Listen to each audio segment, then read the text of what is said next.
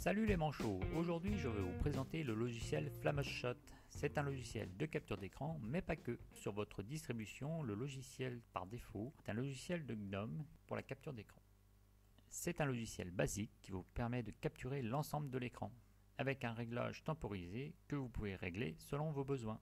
Je vais faire prendre la capture d'écran et au bout de deux secondes, j'aurai une capture d'écran, c'est rapide efficace. Il est possible de sélectionner la zone à capturer. Je sélectionne la zone à capturer. Je vais faire prendre la capture. Je sélectionne la zone qui m'intéresse. Et voilà, j'ai une capture d'écran rapide et efficace. Maintenant, je vais vous présenter le logiciel de capture d'écran Flameshot qui est disponible dans la Logitech. Pour cela, il suffit tout simplement d'écrire Flameshot comme Flameshkush.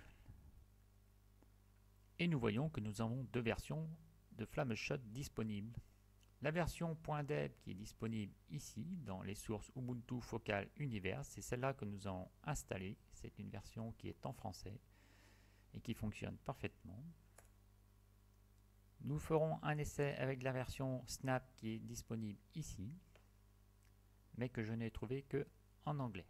Il y a quelques améliorations sur cette version, mais nous allons tester la version française, ça sera plus simple pour les explications. Maintenant que le logiciel est installé, nous allons pouvoir le lancer. Appelé Shot.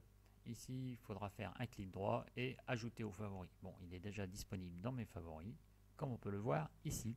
Pour lancer le logiciel, c'est très simple. Un petit clic gauche, le logiciel est lancé. Pour l'instant, vous ne voyez rien à l'écran.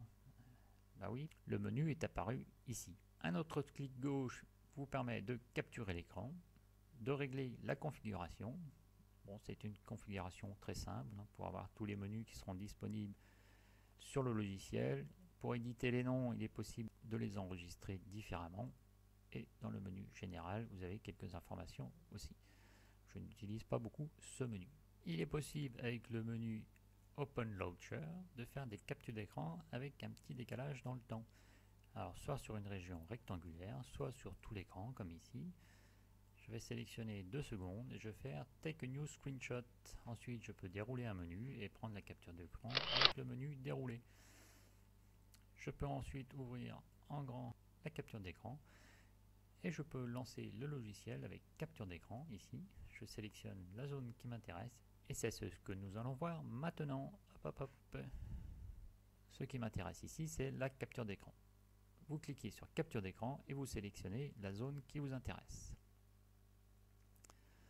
Si je fais une capture un peu petite, vous aurez les menus qui seront un peu étalés autour de l'écran. Donc nous allons faire une capture un peu plus grande pour avoir tous les menus présents en dessous ici. Nous allons commencer par le premier menu qui se trouve à gauche, qui est l'outil crayon.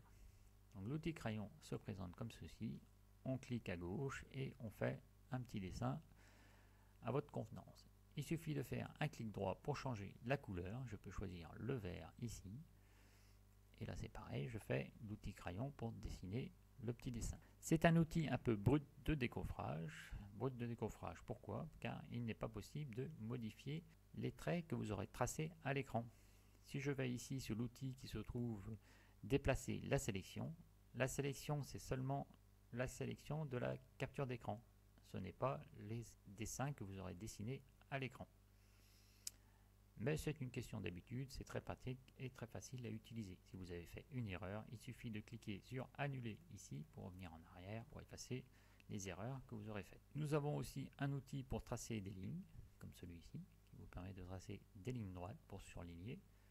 Et il est possible bien sûr d'agrandir ou de diminuer les lignes. Pour cela, vous allez utiliser soit l'ascenseur de votre touchpad ou la molette de votre souris. Et vous voyez tout en haut à gauche ici, on le voit, la taille va augmenter ou diminuer. Nous pouvons aller jusqu'à 100, c'est la taille maximum. La taille maximum du trait que je vais faire ici, ça sera la valeur 100, c'est la taille maximum du trait. Si je fais une sélection pour une flèche, j'aurai une flèche de la taille 200. Il est possible d'aller au minimum. En gros, je vais descendre généralement à 10 pour faire les petites flèches et les petits traits. Ça sera à peu près la taille 10 que je vais utiliser.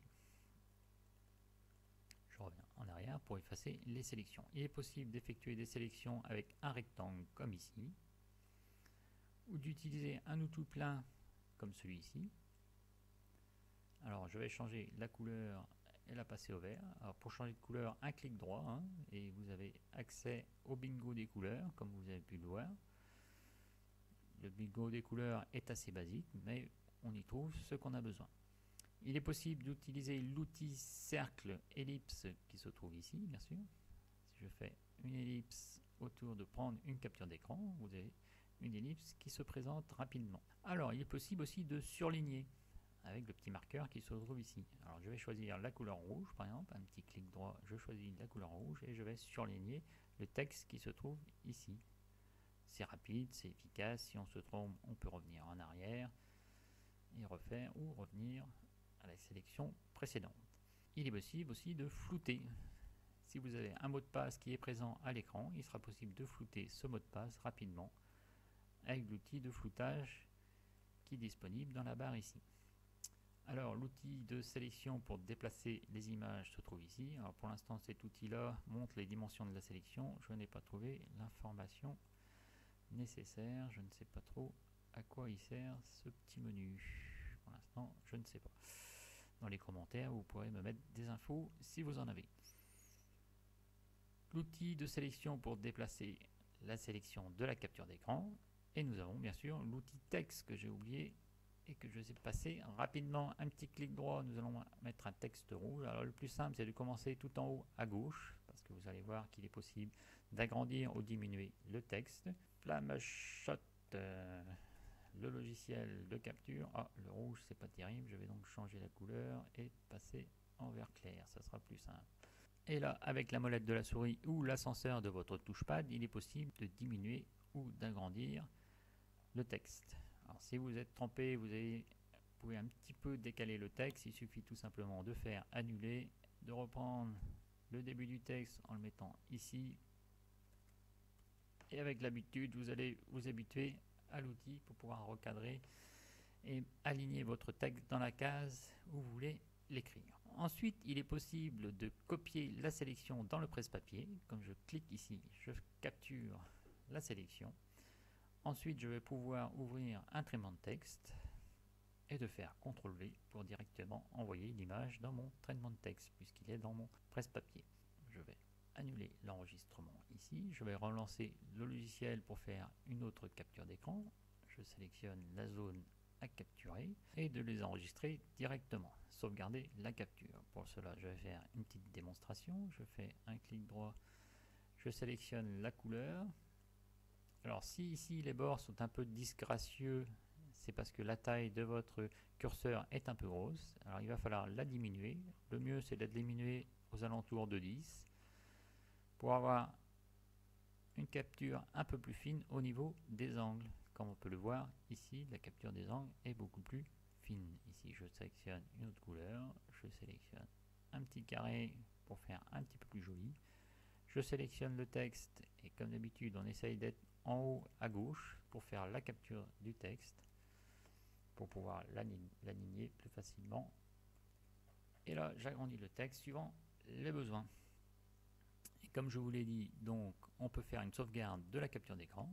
Je vais la sauvegarder ici pour Flamshot registre et je fais remplacer car j'avais déjà fait une capture. Ensuite je lance mon explorateur de fichiers. Je vais dans mon dossier image et il est possible bien sûr de travailler sur une capture d'écran. Là on voit que j'ai fait ma capture d'écran, je la mets en grand, je relance le logiciel de capture d'écran. Et je vais pouvoir travailler sur ma sélection qui est ici. Reprendre ma sélection et la retravailler tranquillement. Il est possible d'envoyer du texte sur internet. Alors ici je diminue un petit peu le cercle, comme on peut le voir ici, voilà et je vais pouvoir l'envoyer sur internet avec le raccourci qui se trouve ici, le petit nuage. Mettre en ligne la sélection vers Imgur ou Imger, je ne sais pas trop comment ça se prononce.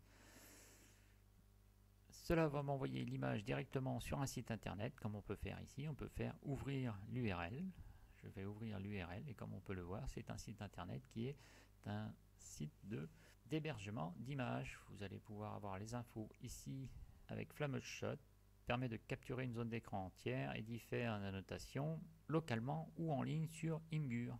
Et voilà, c'est un site d'hébergement d'images que je n'ai pas testé, mais je vous laisse tout le loisir de l'essayer. Je reviens sur ma capture d'image. Il est possible aussi d'envoyer l'image dans le presse-papier. Si je fais image dans le presse-papier, ben, c'est comme tout à l'heure. Hein. Elle va être disponible dans le CTRL-V. Je fais CTRL-V et voilà, l'image est transférée directement dans mon traitement de texte. Voilà, c'est un logiciel euh, assez simple euh, qui demande un petit peu de pratique, mais en fin de compte qui fait très bien le travail. Maintenant que nous avons fait le test de la version DEB qui était disponible dans la Logitech, nous allons voir la version Snap qui normalement est un petit peu plus à jour avec des nouvelles fonctionnalités. C'est le principe des snaps. Je valide le Flamshot en version Snap. Là, comme d'habitude sur les snaps, il y a des permissions que vous allez pouvoir valider ou décocher selon vos besoins. Généralement, les infos qui sont cochées par défaut sont déjà pas mal. Donc je ne rajoute rien. J'ai téléchargé la version stable qui se trouve ici. Et maintenant, j'ai une deuxième version qui est disponible ici par défaut. Donc je vais dans Activité, je vais taper Flamshot et j'ai deux logiciels qui sont disponibles. Donc la version Deb qui se trouve à gauche et la version Snap comme on peut le voir ici. Je vais faire un clic droit, ajouter aux favoris. Le logiciel est disponible ici, normalement c'est le deuxième. Alors c'est le même principe, hein. je fais un clic gauche et le logiciel se lance et sera disponible tout en haut ici. Donc c'est le deuxième, c'est celui-ci. Et là vous voyez, il est en anglais. Take a screenshot. Alors bon, ce n'est pas bien compliqué. Par contre, j'ai vu qu'il y avait des options supplémentaires. Je vais vous montrer tout de suite l'option supplémentaire qui a été rajoutée. C'est celle-ci. Add on outline incrementing counter bubble. Bon, en fin de compte, c'est tout simple. Hein. Je vais l'agrandir au maximum et vous allez comprendre rapidement à quoi ça sert. Ici, je vais mettre numéro 1 et ici numéro 2 et numéro 3 et numéro 4. C'est assez sympa comme petit module. Je pense que je vais utiliser maintenant cette version qui me semble assez pratique. Une fois que je maîtrise bien la version française, la version anglaise ne va pas me poser de soucis.